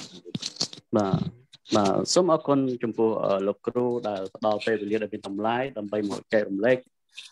នៅក្នុងថ្ងៃនេះបាទមានន័យថាពិសេសពិសេសពិសាមែនតើចំពោះអ្វីដែលលោកវិជ្ជាបណ្ឌិតបានចែករំលែកអំពីផលិតផលក៏ដូចជា system ក៏ដូចជាប្រព័ន្ធ digital នៃក្រុមហ៊ុន Vulcan របស់យើងឃើញថាល្អពិសេសមែនទែនមកទាំងការប្រព័ន្ធដកលុយ ដោយលោកសក្តាបានលើកបំបញ្ញមិញមកគឺឃើញថាវាងាយស្រួលមែនទែនក្នុងការធ្វើការងារសហការជាមួយក្រុមហ៊ុន Walton មួយនេះបាទឃើញថាយើងគ្រាន់តែណែនាំឬក៏អតិថិជនឬក៏អ្នកងារណាមួយមកឈ្មោះចូលរួមជាមួយសហការជាមួយនឹង Walton យើងអាចទទួលបានប្រាក់កម្រៃ ក្នុងរយៈពេលត្រឹមតែ24ម៉ោងបាទមានន័យថាថ្ងៃស្អែកយើងអាចទទួលប្រាក់កម្រៃជើងសារឬក៏ប្រាក់ចំណេញដែលយើងបានលក់ពីផលិតផលរបស់យើងបាទឥឡូវនេះយើងមកជួបនឹងវិក្កាមទី3របស់យើងបាទវិក្កាមគុណបើរបស់យើង បាទទៀងចំណេះជំនាញក៏ដូចជាបទពិសោធន៍ផ្សេងផ្សេងបាទហើយលោកក៏មាន ជីវប្រវត្តិផ្ទាល់ខ្លួនបាទយ៉ាងជឿជាក់ផងដែរមុននឹងលោកចូលសហការជាមួយនឹងក្រុមហ៊ុន Walton ហើយមួយទៀតសប្តាហ៍ថ្ងៃលោកក៏ជាភ្នាក់ងារក៏តំណែងចែកឆាយមួយរូបបាទដែលល្បីឈ្មោះខាងបាត់ដំបងបាទលោកដេចខ្លាំងជាងគេបាទអញ្ចឹងយើងមកជួយជាមួយលោកសុធារៀបបាទសូមគ្រប់អីជេដើម្បីឲ្យគាត់ចែករំលែកពីជីវិតជួយចិត្តរបស់គាត់ក៏ដូចជាការសហការជាមួយនឹង Walton តើ ដំណើរឆ្ពោះទៅមុខយ៉ាងបែបណាបាទសូមគ្រប់អញ្ជើញលោកសុធារៀមបាទបាទសូមគ្រប់នឹងអនុញ្ញាតជម្រាបសួរទៅដល់បងប្អូនទាំងអស់ដែលនៅក្នុងបន្ទប់ Zoom ទាំងអស់គ្នាបាទជាពិសេសគឺទៅដល់លោកអគ្គនាយក CEO ហើយព្រមទាំងថ្នាក់ទឹកនាំជាន់ខ្ពស់ដែលមានលោកគ្រូស៊ីមសុកចម្រើនលោកគ្រូហេងសៀនលោកគ្រូពុយសុនធីព្រមទាំងដៃគូសហការទាំងអស់របស់ក្រុមហ៊ុន Volten អរគុណណាស់ជាបទពិសោធន៍របស់ខ្ញុំផ្ទាល់ដែលខ្ញុំបានធ្វើនៅក្នុងក្រុមហ៊ុន Volten នេះចាប់ផ្ដើមដំបូងគឺខ្ញុំចង់និយាយថាបែបមិនមានចំណាប់អារម្មណ៍ខាងបែបទីផ្សារបណ្ដាញអីទេហើយក៏មិនមានបទពិសោធន៍អីនៅក្នុងការធ្វើបណ្ដាញទីផ្សារអីពីមុនមកដែរបាទថ្មីសុទ្ធសាធសម្រាប់ខ្ញុំបាទថ្មីសុទ្ធសាធសម្រាប់ខ្ញុំអឺ ជាទូទៅខ្ញុំដំបូងឡើយដែលមិនតន់ធ្វើនៅកិច្ចការងារជាមួយ Volta នេះគ្រាន់តែជាអ្នករកស៊ីលក់ដូរផ្នែកធម្មតាទេដូចជាលក់បន្លែផ្លែឈើត្រីសាច់នេះឯងហើយបន្ថែមនោះគឺយើងច្រៀងបាទជាអ្វីដែលខ្ញុំចូលចិត្តបាទប៉ុន្តែដោយសារការដែលយើងច្រៀងយើងមានកម្មវិធីបែបនេះ អឺទីមួយគឺខ្ញុំធ្លាក់ខ្លួនមកដល់ដំណាក់កាលមួយដែលហៅថាខ្វះការធ្វើប្រហែសក្នុងការថែទាំសុខភាពបាទគឺខ្ញុំមិនដែលគិតថាសុខភាពសំខាន់អីម្ដងណាទេបាទអឺនិយាយរួមគឺខ្ញុំមិនឲ្យតម្លៃសុខភាពតតែសោះបាទអឺអ្នកដែលមកចិត្តខ្ញុំតែងតែគិតថា សបាយបែបនេះគឺត្រូវការថែទាំសុខភាពផងទៅកុំគិតតែពីសបាយនឹងរលុយបានច្រើនច្រើនអញ្ចឹងយើងត្រូវការថែទាំសុខភាពប៉ុន្តែខ្ញុំអត់យកទៅជាប្រសាពួកគាត់ទេបាទអានេះដែលចំណុចដែលឆេប្រហែសហើយមិនជឿជាក់ទៅលើអ្នកដែលមានបំណងល្អសម្រាប់ខ្ញុំមកដល់ដំណាក់កាលអឺមួយដែលហៅថាដំណាក់កាលដែលមិនអាចស្រោចស្រង់បានដំណាក់កាលដែលអស់សង្ឃឹមមែនទែនអឺ ដំណាក់កាលដែលអស់សង្ឃឹមនេះគឺអស់អស់ពីខ្លួនហើយបាទអស់ពីខ្លួនអាលីងបាទគឺនៅសល់តែដំណាក់កាលចង់និយាយថាអឺពេទ្យក៏ព្យាយាមជួយសង្គ្រោះយើងដែរក្នុងដំណាក់កាលហ្នឹងណាក៏ប៉ុន្តែអឺដោយសារតែអាការៈរបស់យើងនឹងវាអស់ទុនខ្សោយមែនតើបាទទុនខ្សោយមានថាអស់អស់អស់ power បាទមនុស្សយើងកាលណាបើអស់ power គឺយល់ហើយបាទខ្ញុំអស់រហូតទៅដល់ សំបីតែភ្នែកក៏បើកមិនឃើញដែរបាទគឺរហូតទៅដល់តែសយោមួយញាត់តែពីសម្បុកទៅដល់កាពះមិនដឹងជាយ៉ាងម៉េចបែបម៉េចក្រោយក្រោយបន្តិចក៏មិនដឹងដែរបាទនេះគឺជាចំណុចអឺរហូតដល់អស់លុយហើយខ្ញុំចេញមកដល់ផ្ទះរងចាំតែសេចក្តីមួយដែលហៅថាបញ្ចប់នៅជំងឺរបស់យើងណាអឺអរគុណមែនទែនបាទអរគុណមែនទែនហើយខ្ញុំសូមសម្ដែងនៅការគោរពទៅដល់បងស្រីចន្ទធី អរគុណណាស់ហើយអរគុណដែលលោកបានណែនាំណែនាំខ្ញុំហ្នឹងឲ្យដឹងពីខ្ញីខ្មៅក៏ប៉ុន្តែខ្ញុំនិយាយតែពីអបូននៃផលិតផលបែបថែទាំសុខភាពនេះគឺខ្ញុំមិនស្រាប់ទៅហើយបាទដែលខ្ញុំទៅជួបគាត់ហ្នឹងគឺខ្ញុំលក់នៅគ្រឿងបរិភោគទេយកទៅឲ្យគាត់ណាបាទដល់ពេលអញ្ចឹងគាត់ថារៀមដោយសារឲ្យគាត់លួចជួយខ្ញុំណាស់ ការដែលខ្ញុំឈឺពីអឺបាត់ដំបងបញ្ជូនពីបាត់ដំបងទៅដល់រយ៉ាលភ្នំពេញចេញពីរយ៉ាលភ្នំពេញមកដល់កាឡាម៉ែតចេញពីកាឡាម៉ែតយ៉ាងណាគាត់តាមសង្គ្រោះខ្ញុំដោយប្រាក់កម្រៃខ្លះខ្លះសម្រាប់ខ្ញុំខ្ញុំអរគុណគាត់មែនទែនបាទបងស្រីចន្ទធីដែលជាឧត្តមភរិយារបស់លោកគ្រូគុយសំរិទ្ធីបាទគាត់ជួយខ្ញុំ អឺដល់ពេលអាចុងក្រោយហ្នឹងខ្ញុំក៏បានទៅជួបគាត់គាត់ក៏បានណែនាំអំពីខ្ញីខ្មៅថារៀមរៀមឥឡូវបងឃើញលទ្ធផលនេះពីល្បីណាស់តាំងពីម៉ាឡេគូគឺល្បីមែនតើបាទហើយខ្ញុំដឹងទេដឹងល្បីយ៉ាងណាក៏ខ្ញុំអត់ដឹងដែរសំខាន់ខ្ញុំយកគឺបរិភោគនេះទៅឲ្យគាត់ឲ្យយកកម្រៃមកទីទៀតដល់ពេលអញ្ចឹងខ្ញុំយកមកញ៉ាំគាត់ឲ្យខ្ញុំមកសាក10គ្រាប់ បាទ10គ្រាប់ខ្ញុំយកមកញ៉ាំបាន4 5ថ្ងៃខ្ញុំគិតថាវាធ្វើទុកសម្រាប់ខ្ញុំព្រោះខ្ញុំខ្សោយព្រោះយើងចេញមកពីពេទ្យហើយយើងអត់មានកម្លាំងទេហើយចេញមកហ្នឹងរស់ដោយសារសារ៉ូមហើយនឹងចាក់ថ្នាំខ្ញុំនិយាយដល់ត្រង់បាទចាក់ថ្នាំមួយថ្ងៃ2ថ្ងៃ25ដុល្លារបាទបាទបតោសារ៉ូមផងចាក់ថ្នាំដើរបានអីបានគឺរស់ដោយសារថ្នាំហើយនឹងសារ៉ូមទេបាទ អឺដល់ពេលតែការដែលយើងចំណាយលុយច្រើនពេកទៅវាអស់ពីខ្លួនមិនដឹងតែធ្វើអីធ្វើអីក៏មិនកើតធ្វើតិចតិចទៅហើយភរិយារបស់ខ្ញុំគាត់ធ្វើការខាងវិទ្យុដែរដល់ពេលគាត់ដល់ពេលឃើញខ្ញុំដាពេកជួនណាខ្ញុំបកាច់ថ្ងៃពីរ3ដងអញ្ចឹងទៅខ្ញុំនៅប្រទេសអ្នកឯងទៅនឹងបងប្អូនខ្ញុំមករស់ស៊ីនៅបាត់ដំបង អឺដល់ពេលអឺគាត់ឃើញខ្ញុំលំបាកពេកអ្នកចិត្តខាងជួនណាទៅខ្ញុំដើរដើរទៅបកាច់ចិត្តខាងអ្នកលក់លក់ចេកអាំងអ្នកលក់នំប៉័ងអីមកជួយសង្គ្រោះកាលពីអឺចុងឆ្នាំ2019បាទខ្ញុំបកាច់ខ្លាំងមែនតើហ្មងហើយខ្ញុំប្រកាសការចុងឆ្នាំ2019កាលហ្នឹងអត់មានកូវីដទេបើសិនជាមានកូវីដពេលនោះខ្ញុំប្រហែលជាគ្មានអ្នកណាគេមកជួយសង្គ្រោះខ្ញុំទេ បាទអរគុណហើយដល់ពេលអញ្ចឹងទៅខ្ញុំចាប់ដើមបាទសូមអឺកាត់អឺប្រសាសន៍លោកសុធារីតើជំងឺជំងឺរបស់លោកជាប្រភេទជំងឺអ្វីដែរដែលលោកឆ្លងកាត់មកបាទអឺជំងឺខ្ញុំមានច្រើនបាទទី1តកតងដែលខ្លាំងជាងគេហ្នឹងគឺដំបៅកាពះពោះវៀនបាទហើយដំបៅកាពះពោះវៀនហ្នឹងដំបៅឬដងបាតធ្ងន់ធ្ងរទៀតបាទហើយមួយទៀតនេះគឺមានដុំដុំពោកបាទនេះនៅខាងនេះបងប្អូនបាទធំជាងក្រូចឆ្មាបាទនៅខាងឆ្វេងកបាទរបស់ខ្ញុំនេះហើយអាអាដុំហ្នឹងឯងដែលវាធ្វើឲ្យខ្ញុំប៉ះពាល់ទៅដល់ក្បាលរបស់ខ្ញុំខ្លាំងមែនទែនទៅពេលដែលអាដុំពេលដែលយើងធ្វើការខ្លាំងអីចឹងទៅអាដុំនឹងវាចាប់ដើមពើតមកវានឹងប៉ះពាល់សរសៃប្រសាទរបស់យើងហើយខ្ញុំប្រកាច់ថ្ងៃ2 3ដងបាទ2 3ដង ម្ដាយក្មេកខ្ញុំម្ដាយបង្កើតខ្ញុំគាត់សមជាមួយនឹងស្ថានភាពដែលខ្ញុំប្រកាច់ចឹងគាត់យកចិត្តបានពេលនោះបើសិនជាធីតាគាត់ថតនៅក្នុងសកម្មភាពហ្នឹងណាបងប្អូននឹងជឿខ្ញុំជាងអីទៀតបាទមិនថាខ្ញុំនិយាយចេះទៅប្រហែលជាមិនឃើញសាក់សីពេលប្រកាច់អាពេលអីបែបហ្នឹងណាប៉ុន្តែជាការជាក់ស្ដែងគឺជាការពិតបាទអឺរហូតមកដល់ពេលនេះ ខ្ញុំជឿទុកចិត្តលើខ្ញីខ្មៅមែនតើបាទដោយសារតែការជឿជាក់នេះហើយដែលធ្វើឲ្យខ្ញុំហ៊ានធ្វើនៅអាជីវកម្មនេះជាមួយខ្ញីខ្មៅហើយជាមួយ Volten ហើយអរគុណដល់អគ្គនាយកដែលបាន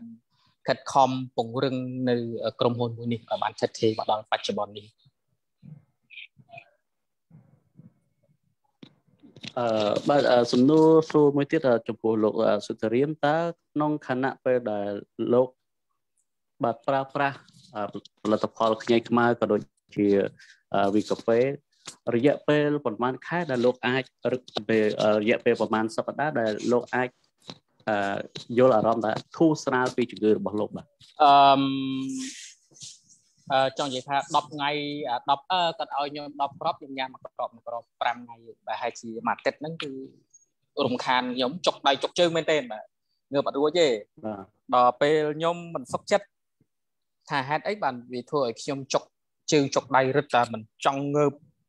ងើបអីមិនចង់រួចអញ្ចឹងខ្ញុំក៏មិនសុខចិត្តទៅទៅបើក laptop ខ្ញុំបាទទៅបើក laptop ខ្ញុំឲ្យខ្ញុំឆែកមើលនៅគុណប្រយោជន៍របស់ខ្ញីខ្មៅ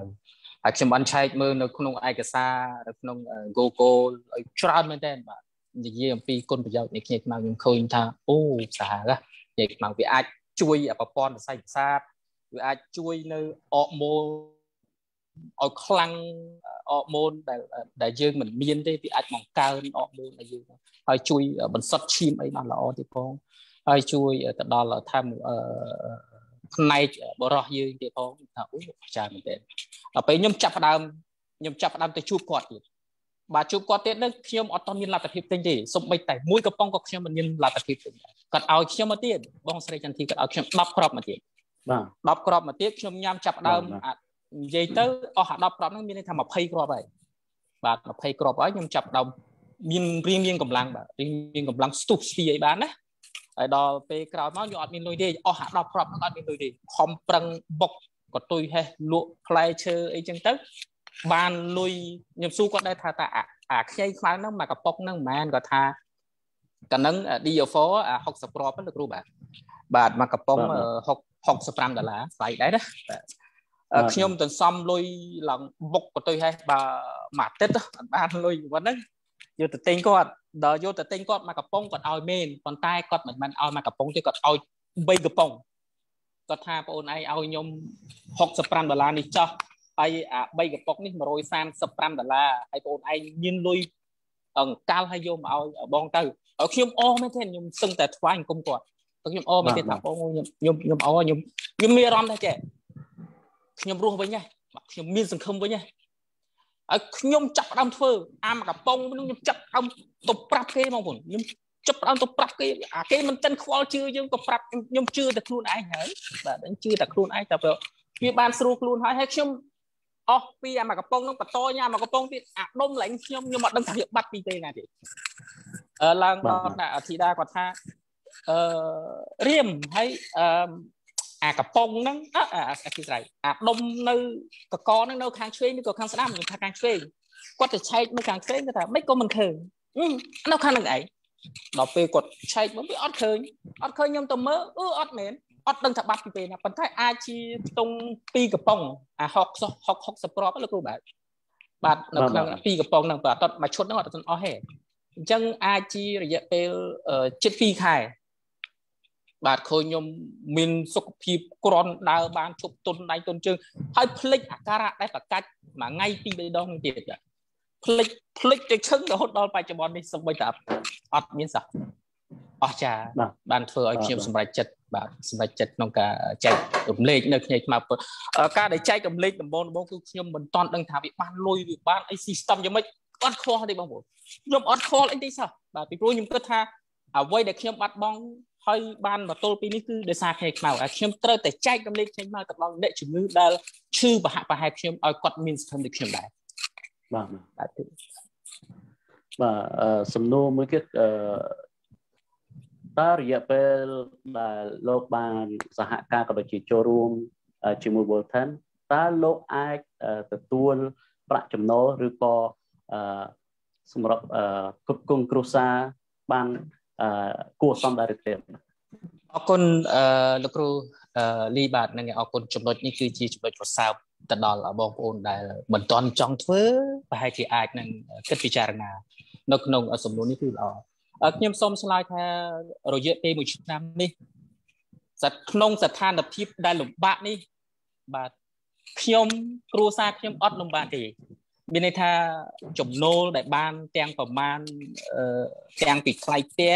ថ្លៃចាយវាគឺមិនក្រោមខ្ញុំនិយាយថាមិនក្រោមពី600ដុល្លារទេក្នុងមួយខែដែលខ្ញុំចំណាយដែលមិនគិតថាពីផលចំណេញទេ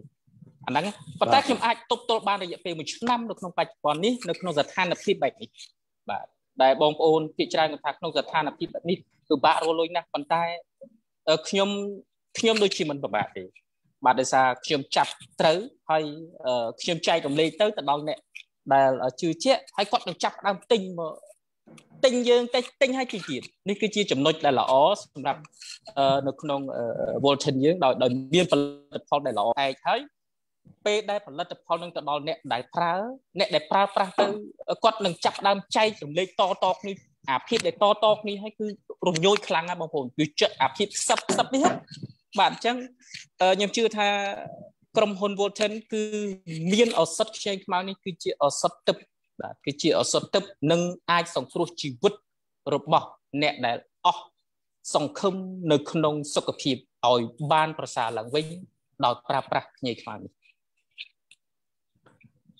បាទអឺជាចុងក្រោយតើអឺលោកមានពាក្យពេចន៍អ្វីសម្រាប់អឺ ជំរុញទឹកចិត្តក៏ដូចជាណែនាំដល់ជនរួមជាតិរបស់យើងនៅក្នុងប្រទេសកម្ពុជាឲ្យលោកស្វែងយល់អំពីខ្ញីខ្មៅរបស់យើងដែរទេ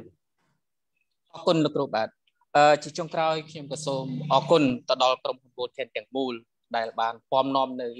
ផលិតផលដែលល្អឯកនេះគឺជាសុទ្ធធម្មជាតិខ្ញីខ្មៅដែលបច្ចុប្បន្នគឺផ្ដាច់មុខដល់ក្រុមហ៊ុន Volten និងដំបូងគេមកនៅកម្ពុជាយើង ហើយខ្ញុំសូមចែករំលែកនៅសារដ៏មានចេញពីបេះដូងរបស់ខ្ញុំ ដែលខ្ញុំក៏ជាអ្នកជំងឺដែលលំដាប់អាចនិយាយថានៅសល់តែ1%ទេខ្ញុំអាចសង្ឃឹមបានមកដល់ពេលនេះ គឺដោយសារតែអសតធម្មជាតិខ្ញីខ្មៅនេះឯងហើយខ្ញុំសូមជំរុញនិងលើកទឹកចិត្តទៅដល់អ្នកដែលអស់សង្ឃឹមដែលសូមបីតែ1%មិនតន់សូមឲ្យលទ្ធភាពចុងក្រោយ សូមឲ្យបងប្អូនមកចាប់យកនៅខ្ញីខ្មៅនេះដើម្បីជាជំរើសនៃសុខភាពរបស់លោកក្នុងពេញហើយខ្ញីខ្មៅពេលដែលបងប្អូនកាន់តែធ្វើខ្លាំងហើយកាន់តែពិតប្រកបជាមួយខ្ញីខ្មៅបើហិតទៅរឹតនៃខ្ញីខ្មៅនេះគឺចាប់ផ្ដើមពំនាំបងប្អូនទៅរកចំណូលគុតគងជីវភាពកើនឡើងជាលំដាប់នេះខ្ញុំសូមនិយាយថាអ្នកដែលមានជំនឿពិតទៅលើខ្ញីខ្មៅបាទអរគុណ បាទដែលឡែកពេលវេលារបស់យើងគិតតែបញ្ចប់ហើយតើលោកមានពាក្យពេចន៍អ្វីសម្រាប់តាមផ្ញើក្រុមការងាររបស់យើងក៏ដូចជាតាដឹកនាំបាទអរគុណបាទហើយជាចុងក្រោយនេះខ្ញុំសូមគោរពនិងថ្លែងអំណរគុណទៅដល់បងប្អូនទាំងអស់ហើយជាពិសេសគឺលោកអគ្គនាយកលោកគ្រូអ្នកគ្រូថ្នាក់ដឹកនាំចង់ពោះទាំងអ្នកងារទាំងអស់ដែលអ្នកដែលកំពុងតែចាប់ផ្ដើមថ្មីថ្មីសូមកំបាក់ទឹកចិត្តណា ធ្វើឲ្យខ្លាំងបងប្អូនធ្វើថ្ងៃនេះកុំរំពឹងថ្ងៃស្អែកបានជោគជ័យបានផលផ្លែធ្វើវាតទៅធ្វើវាជារឿយរឿយទៅរឿយទៅផលផ្លែឲ្យអ្នកដែលជឿជាក់នៅជាមួយនឹងឯងធ្វើជាធ្វើវាជាប្រចាំសកម្មភាពជាប្រចាំកុំរំពឹងកុំគិតថាអឺអញចង់ធ្វើ2ថ្ងៃបានជោគជ័យ2ថ្ងៃបានខែផ្លល់ខែផលផ្លែគឺមិនបានទេអ្វីក៏ដោយគឺត្រូវការពេលវានៅជាមួយវាណា បាទតស៊ូអំណត់អត់ធ្មត់គឺអស់លោកអ្នកនឹងបានប្រសើរជាមួយខ្ញីខ្មៅហើយជាមួយអាជីវកម្មរបស់ Volten នេះអញ្ចឹងបងប្អូនទាំងអស់គ្នាសូមចាប់ផ្ដើមគិតពិចារណាជាថ្មីណារៀបចំបែបបទជាថ្មីគិតពិចារណាជាថ្មីថាមានតែ Volten ទេបាទពីព្រោះខ្ញុំមិនមែនជាអ្នកខ្ញុំសូមថាខ្ញុំតាំងពីដើមមកមិនមែនជាអ្នកធ្វើទីផ្សារបណ្ដាញក្លប់អត់សោះនេះជាលើកដំបូងខ្ញុំអាចធ្វើបានបាទ អរគុណបាទបាទអរគុណចំពោះការចែករំលែកក៏ដូចជាការឆ្លងកាត់នៃជីវិតរបស់លោកសិទ្ធិរៀមពីមុនរហូតមកដល់បានចូលរួមជាមួយនឹងក្រុមហ៊ុន Volten ហើយបានជាវក៏ដូចជាប្រើប្រាស់ជាមួយឱសថខ្ញីខ្មៅដែលធ្វើឲ្យលោកជាសះស្បើយពីជំងឺរហូតដល់លោកភ្លេចខ្លួនបាទប្រើពាក្យរហូតទៅដល់ឱសថទឹក បាទនេះគឺជាយើងគេថាការបេះដូងចេញពីបេះដូងបាទចេញពីបេះដូងរបស់លោកពីការបំផិតរបស់លោករហូតដល់លោកប្រើពាក្យយកឱសថទឹកបាទអញ្ចឹងតែក៏ពិតវាគឺជាឱសថធម្មជាតិបាទដែលដោះចេញពីធម្មជាតិដែលក្រុមហ៊ុន Volten យកនិងសម្រេចសម្រាំងចេញជាឱសថដែលគ្រាប់បាទដែលមានកាព្យូលសម្រាប់ងាយស្រួលដល់យើងប្រើប្រាស់ ដើម្បីបំពន់សុខភាពក៏ដូចជាថែទាំសុខភាពរបស់យើងដូចលោកសុធារាមបានលើកពីខាងដើមហ្នឹងថាធ្វើការរហូតដល់ទៅដល់ផ្លិចថែទាំសុខភាពខ្លួនឯងបាទឥឡូវនេះដោយសារលោកបានសហការជាមួយ Walton បាទលោកយល់អំពីការថែទាំសុខភាពបាទមិនត្រឹមតែយើងមានលុយបាទយ៉ាងណានោះ ទេតែបើយើងភ្លេចខ្លួននឹងការថែទាំសុខភាពរបស់យើងលទ្ធផលចុងក្រោយគឺនឹងបាត់បង់គ្រប់យ៉ាងតែម្ដងបាទអញ្ចឹងមុននឹងចាប់កម្មវិធីរបស់យើងយើងនឹងមានសំណួរជាចុងក្រោយសម្រាប់ថ្នាក់ដឹកនាំក៏ដូចជាក្រុមការងាររបស់យើងអាចសួរទៅមេវាគ្មិនរបស់យើងបាទទាំង3រូបបាទយើងអនុញ្ញាតដល់ ក្រុមការងាររបស់យើងចំនួន2រូបបាទអាចសួរទៅកាន់លោកគ្រូពេទ្យក៏ដូចជាលោកសុធារៀនក៏ដូចជាលោកសក្តាបាទសូមគោរពអញ្ជើញបាទ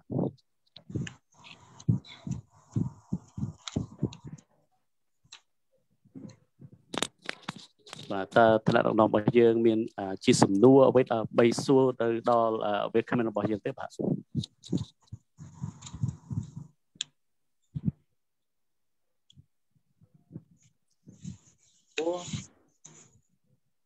លោបាទលឺទេបាទជំរាបសួរបាទសុំជ័យបាទអត់មានអ្នកសួរឥឡូវយើងសួរវិញបាទអញ្ចឹងសំណួរដែលខ្ញុំសួរទៅកាន់ដៃគូជំនួញ Volcan ទាំងអស់គ្នាបាទចឹងបងប្អូនបានចូលរួមជាមួយ Volcan ហើយតើបងប្អូនមានឆន្ទៈយ៉ាងណាដើម្បីទៅជោគជ័យជាមួយនឹង Volcan បាទ បាទសូមជើញឋានៈដឹកនាំផ្សេងទៀតដែលលោកអាចឆ្លើយនឹងសំណួរវាគ្មិនរបស់យើងវិញតែម្ដងបាទដោយសារឃើញថាយើងបើកសំណួររយៈពេល5នាទីសម្រាប់ថ្នាក់ដឹកនាំរបស់យើងសួរទៅកាន់វិក្កាមិនតែដូចអត់មានបងប្អូនក៏ដូចជាថ្នាក់ដឹកនាំមួយរូបណាដែលអាចសួរទៅកាន់វិក្កាមិនឥឡូវវិក្កាមិនបានសួរទៅកាន់ថ្នាក់ដឹកនាំរបស់យើងតែម្ដងតើបងប្អូនក៏ដូចជាថ្នាក់ដឹកនាំមានភោគសន្តិបែបណាចំពោះ ការសហការជាមួយវលថិតអញ្ចឹងលោកសក្តាណាបាទបាទបាទជើញបាទចាជម្រាបសួរលោកគ្រូឥឡូវខ្ញុំសូមបញ្ចេញមតិមុនគេបន្តិចបើនិយាយពីឆន្ទៈខ្ញុំគឺខ្ញុំអឺមោះមុតនិងជឿជាក់ទៅលើក្រុមហ៊ុន Volten យើងហើយខ្ញុំអឺគិតច្បាស់ហើយថាខ្ញុំជ្រើសរើសជាមួយនឹង Volten នេះគឺត្រឹមត្រូវ អញ្ចឹង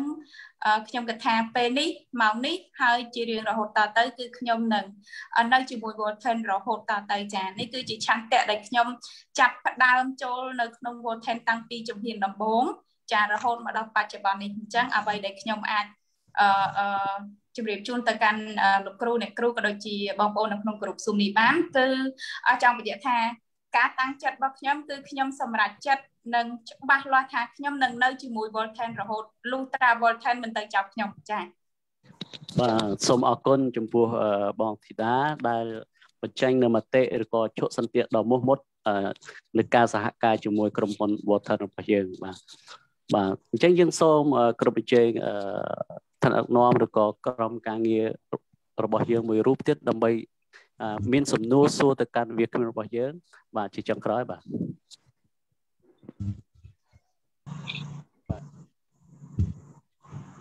បាទទៅមានអ្នកសួរទេមកទៅបាទបាទពាក់ព័ន្ធនឹងផលិតផលក៏ដូចជាពាក់ព័ន្ធនឹងជំងឺរបស់លោកសុធិរាមផ្ទាល់បាទតើបងស្រីឬក៏លោកគ្រូអ្នកគ្រូណា ដែលគាត់អាចចោទជាសំណួរសួរទៅកាន់លោកទាំង3បានបាទបាទឥឡូវខ្ញុំ សូមយោបល់ចុងក្រោយបន្តិចហ្មងទៅបាទព្រោះតែណាលើកដៃដៃគូចំនួនយើងទាំងអស់គ្នាបាទនៅមានភាពខ្មាស់អៀនបាទឬក៏បាទនៅមានភាពខ្មាស់អៀនច្រើនឬក៏បាច់យ៉ាងនេះបាទចឹងខ្ញុំហើយអឺលោកគ្រូចង់សួរសំណួរមួយបាទសូមសួរសំណួរមួយដើម្បីបញ្ចប់កម្មវិធីណាបាទបាទសូមចេញបាទបាទបាទក្រុមចេញបាទបាទចង់សួរទៅលោកគ្រូថាចេះក្នុងករណីអតិថិជនដែលគាត់និយាយថា ខ្ញុំអត់ចេះញ៉ាំកាហ្វេផងបាទខ្ញុំអត់ចេះញ៉ាំកាហ្វេផងអញ្ចឹងក្នុងការបិទសំណួរក្នុងការឆ្លើយសំណួរត្រឡប់ទៅអតិថិជនដែលគាត់និយាយបែបហ្នឹងតើយើងនិយាយថាម៉េចបាទសំណួរនេះខ្ញុំបកគលទូនាទីឲ្យលោកសក្តាបាទដើម្បីឆ្លើយជាសំណួរជាមួយនឹងក្រុមការងាររបស់យើងបាទអញ្ចឹងគាត់សួរថាគាត់អត់ចេះញ៉ាំកាហ្វេទេតែគាត់ត្រូវធ្វើយ៉ាងម៉េចបាទអញ្ចឹងតាក់ទងទៅការឆ្លើយសំណួរដែលមានប្រសិទ្ធភាព ពេលគេសួរមកយើងភ្លាមយើងកុំឆ្លើយភ្លាមបាទពេលគេសួរយើងភ្លាមយើងកុំឆ្លើយភ្លាមព្រោះកាលណាយើងខ្ញុំតាមដឹងពីសំណួរចាស់របស់គាត់ណាបញ្ហាចុងក្រោយរបស់គាត់យើងឆ្លើយទៅខុសហ្មងអញ្ចឹងគាត់ថាបើខ្ញុំអត់ចេះញ៉ាំកាហ្វេតើទៅធ្វើម៉េចអញ្ចឹងយើងសួរវិញតើគាត់ហ្នឹងបច្ចុប្បន្នហ្នឹងគាត់មានបញ្ហាសុខភាពអត់បាទយើងសួរគាត់ឲ្យដឹងដល់ជំរឿនៃបញ្ហារបស់គាត់ណាអញ្ចឹងខ្ញុំសួរ ទៅម្ចាស់សំណួរវិញថានៅពេលដែលទៅជួបគាត់ចង់លក់កាហ្វេឲ្យគាត់ហ្នឹងលក់នៅក្នុងបំណងឲ្យដឹងថាគាត់ជាអ្នកជំងឺឬក៏យើងគ្រាន់តែចង់លក់កាហ្វេជូនគាត់ធម្មតាបាទខ្ញុំសួរវិញសិនព្រោះឲ្យខ្ញុំឆ្លើយហ្មងឆ្លើយអត់ត្រូវ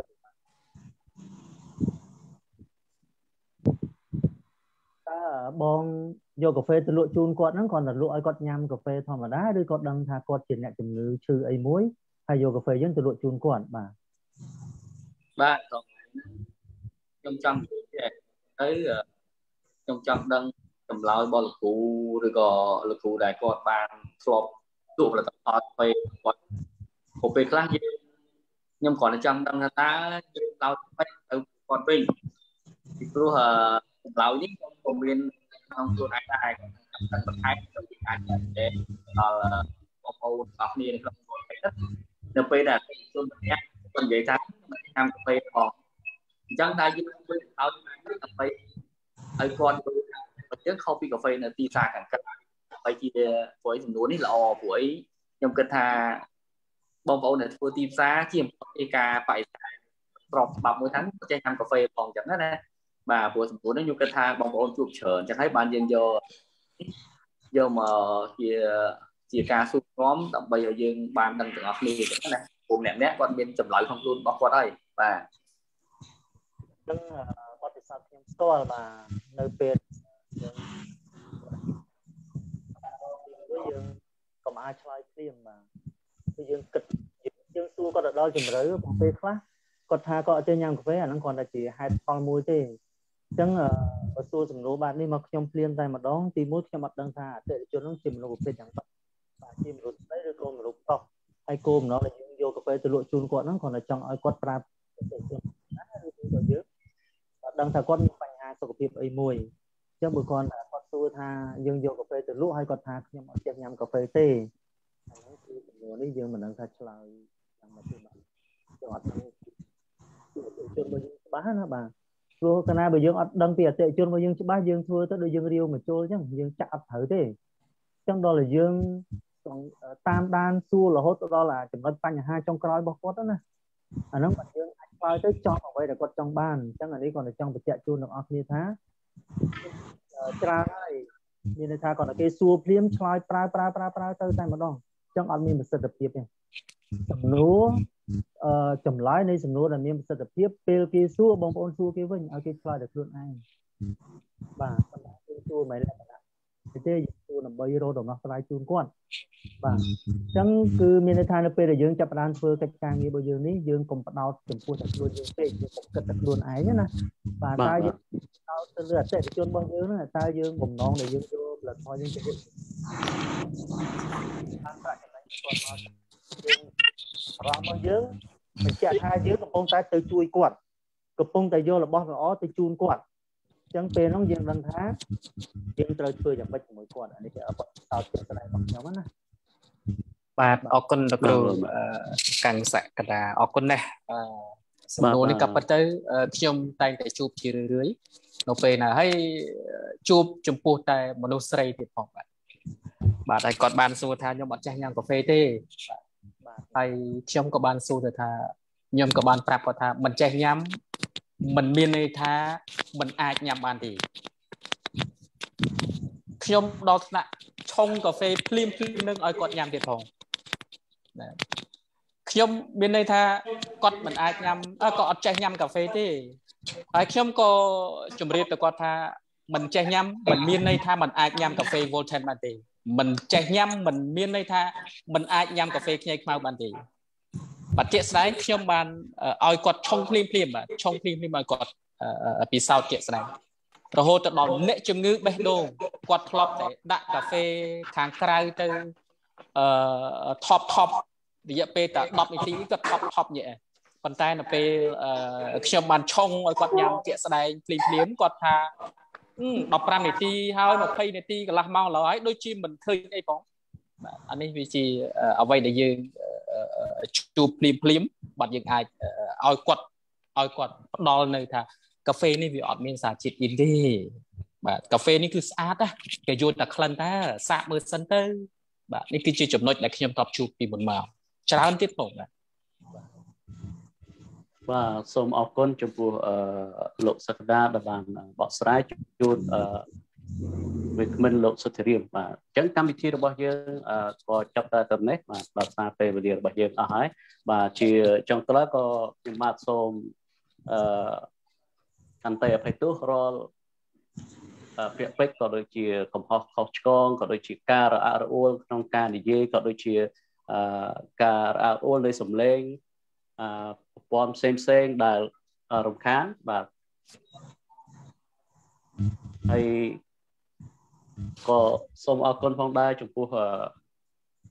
អឺលោក CEO បាទប្រចាំក្រុមហ៊ុន Vulcan នៅកម្ពុជាក៏ដូចជាសូមអរគុណចំពោះឋានៈដឹកនាំកម្ពុជាកម្ពុជាដែលបានចូលរួមនៅក្នុងកម្មវិធីថ្ងៃនេះក៏ដូចជាអរគុណចំពោះក្រុមការងារយើងទាំងអស់បាទនៅក្នុងទូទាំងព្រះរាជាណាចក្រកម្ពុជាដែលបានចូលរួម Zoom meeting កម្មវិធី VCR ឬក៏កម្មវិធីនៃការចែករំលែក បទពិសោធន៍ក៏ដូចការចែករំលែកនៃចំណេះដឹងផ្សេងផ្សេងបាទអញ្ចឹងកម្មវិធីរបស់យើងសន្មតថាចាប់ត្រឹមនេះបាទពេលវេលារបស់យើងបាទសូមគោរពលាសូមអរគុណបាទ